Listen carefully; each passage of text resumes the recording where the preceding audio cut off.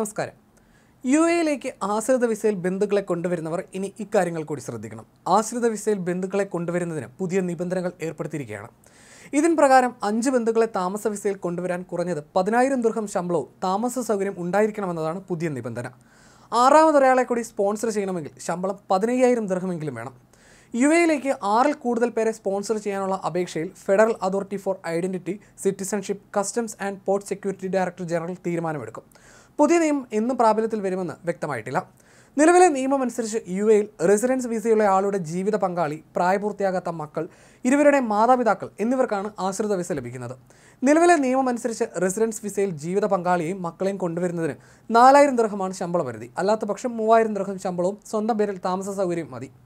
മാതാപിതാക്കളെ റെസിഡൻസ് വിസയിൽ കൊണ്ടുവരാൻ പതിനായിരം ദൃഹം ശമ്പളവും രണ്ട് ബെഡ്റൂം ഫ്ലാറ്റും നിർബന്ധമാണ്. അയ്യായിരം ദൃഹവും കെട്ടിവെക്കണം. പത്ത് അല്ലെങ്കിൽ അഞ്ച് വർഷ കാലാവധിയുള്ള ഗോൾഡൻ വിസ ഗ്രീൻ വിസ ഈ രണ്ട് വിസക്കാരുടെയും ആശ്രിതർ എന്നിവർക്ക് ആറ് മാസത്തിൽ കൂടുതൽ രാജ്യത്തിന് പുറത്തു കഴിഞ്ഞാലും താമസ വിസ റദ്ദാകില്ല. കാരണം ബോധിപ്പിച്ച് അപേക്ഷ സമർപ്പിച്ച് ഫീസ് അടച്ചാൽ യു എയിലേക്ക് പ്രവേശിക്കാം.